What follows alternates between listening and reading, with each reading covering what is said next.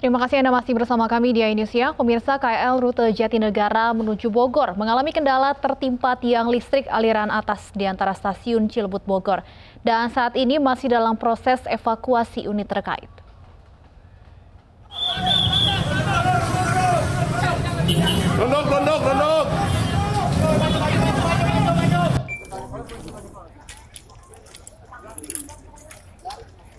Kereta mengalami anjlok antara stasiun Cilebut Bogor, tepatnya di perlintasan Kebon Pedes.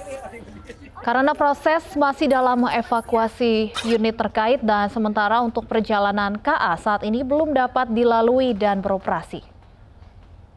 Informasi kecelakaan tersebut disampaikan PT KCI lewat akun Twitter resmi mereka, info komuter lain atau at komuter lain pada pukul 10.35 waktu Indonesia Barat. Penumpang yang terluka dibawa ke Rumah Sakit Salak dan Rumah Sakit PMI Bogor.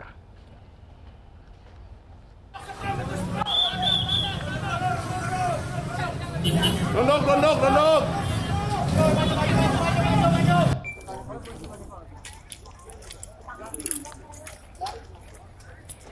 Melalui Vice President Komunikasi PT KCI memohon maaf atas gangguan perjalanan di lintas Bogor, Jakarta Kota maupun Jatinegara dan sebaliknya. Sehubungan dengan adanya anjlokan KA 1722 relasi Jatinegara Bogor di petak jalan antara Cilebot Bogor yang terjadi sekitar pukul 10.15 waktu Indonesia Barat. Dan hingga kini perjalanan KRL lintas Bogor, Jakarta Kota maupun Jatinegara dan sebaliknya belum dapat dilayani. PT KCI mengimbau penumpang untuk bisa mencari alternatif moda transportasi lain. Petugas dari PT KAI Daop 1 dan PT KCI saat ini telah berada di lokasi untuk melakukan evakuasi penumpang dan KRL. Penyebab kejadian tersebut belum dapat disampaikan secara resmi karena proses evakuasi masih berlangsung dan masih akan dilakukan investigasi lebih lanjut.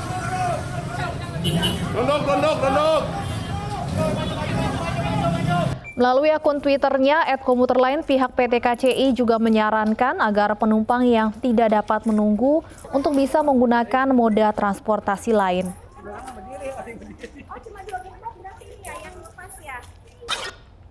Sementara untuk proses pengembalian tiket bagi penumpang yang ingin menggunakan moda transportasi lain dapat dilakukan di loket stasiun.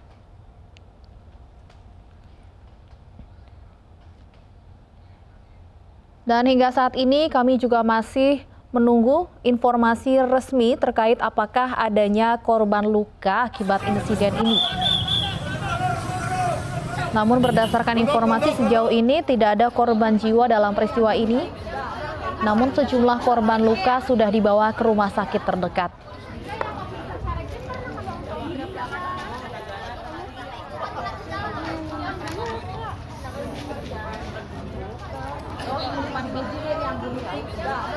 Sebelumnya diinformasikan bahwa kereta ini anjlok karena tertimpa tiang listrik di antara stasiun Cilebut dan stasiun Bogor. Dan sekali lagi kami sampaikan hingga saat ini perjalanan KRL lintas Bogor Jakarta Kota maupun Bogor Jatinegara dan arah sebaliknya belum dapat dilayani sehingga bagi para penumpang maupun juga warga Bogor yang ingin mengarah ke Jakarta Kota untuk bisa mencari alternatif moda transportasi lainnya. Namun hingga saat ini PT KCI sendiri belum dapat menyampaikan secara resmi penyebab anjloknya kereta tersebut karena proses evakuasi masih dilakukan dan PT KCI atau Kereta Komuter Indonesia juga masih akan melakukan investigasi lebih lanjut. Anjlokan KA 1722 relasi Jatinegara Bogor ini terjadi sekitar pukul 10.15 waktu Indonesia Barat pagi tadi.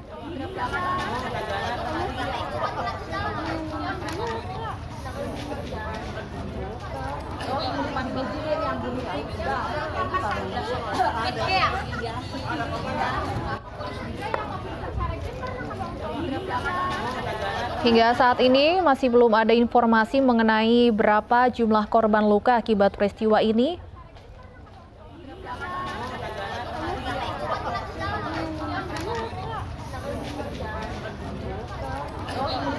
Namun kami juga mendapat informasi bahwa masinis dari KA 1722 ini juga mengalami luka sehingga harus dilarikan ke rumah sakit. Tidak ada korban jiwa dalam peristiwa ini, namun sejumlah korban luka termasuk masinis dari kereta tersebut sudah dilarikan ke rumah sakit terdekat.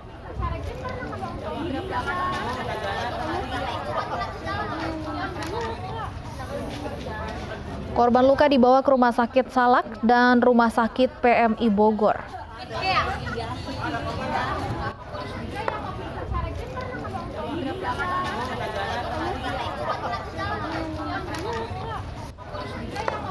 Sebelumnya PT KCI menginformasikan mengenai gangguan kereta ini melalui Twitternya di akun @komuterline di mana anjlokan kereta ini terjadi pada pagi hari tadi sekitar pukul 10.15 dan hingga saat ini perjalanan lintas KRL Bogor Jakarta Kota maupun Bogor Jatinegara dan arah sebaliknya masih belum beroperasi.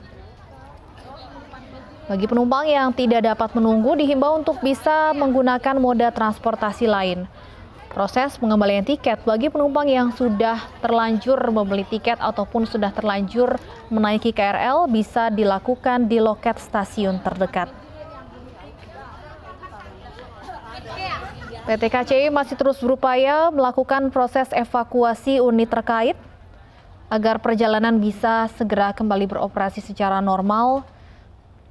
Namun untuk saat ini memang perjalanan kereta api Bogor Jakarta Kota masih belum dapat dilalui.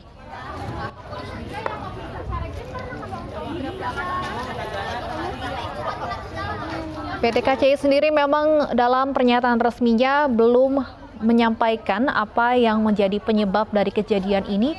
Namun informasi sementara yang kami peroleh terjadi uh, kereta ini anjlok akibat tertimpa tiang listrik.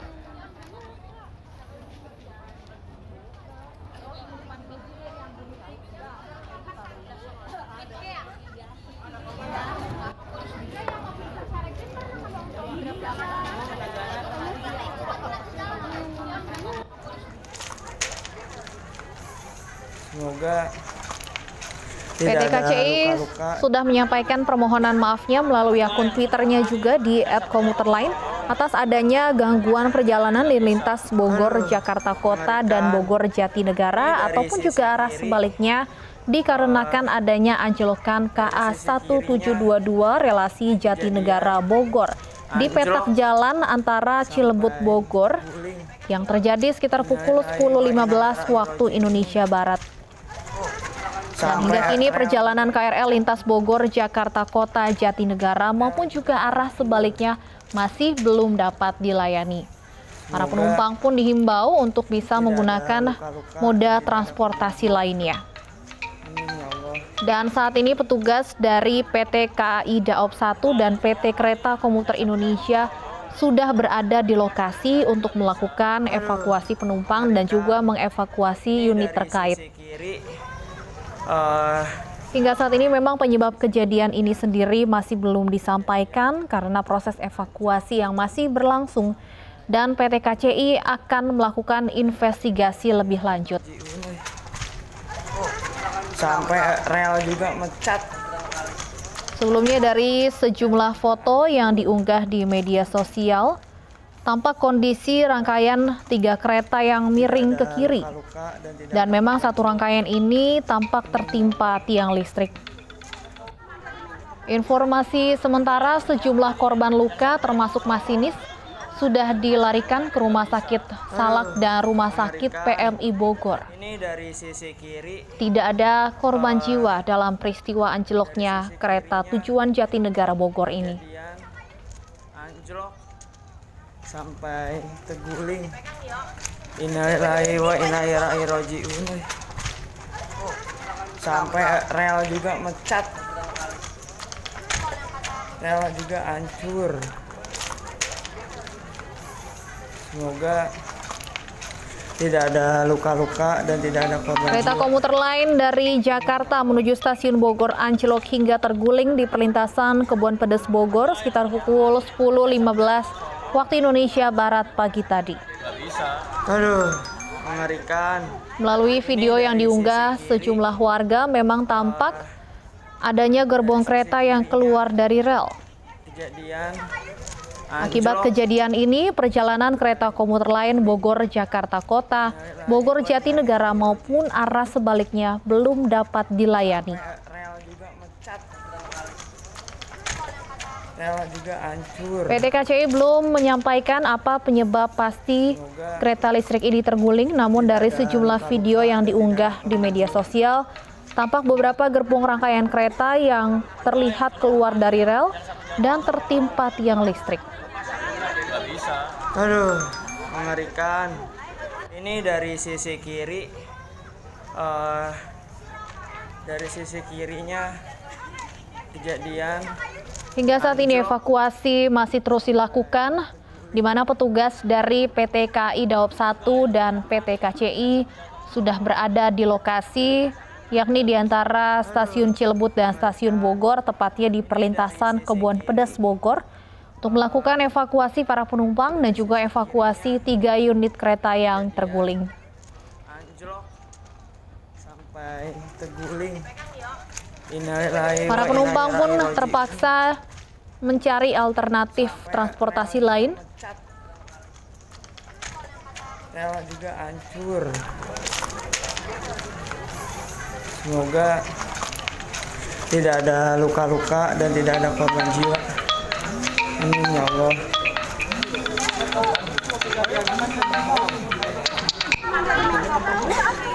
Enggak, yang sono berdiri, yang satu jatuh ke sono. Enggak bisa. Aduh, mengerikan. Ini dari sisi kiri. eh dari sisi kirinya kejadian anjlok sampai terguling. Innalillahi wa inna ilaihi raji'un. Sampai rel juga mecat. Rel juga hancur. Semoga tidak ada luka-luka dan tidak ada korban jiwa. Amin ya Allah. Enggak, yang sono berdiri, yang satu jatuh ke sono. Enggak bisa. Aduh, mengerikan. Ini dari sisi kiri. eh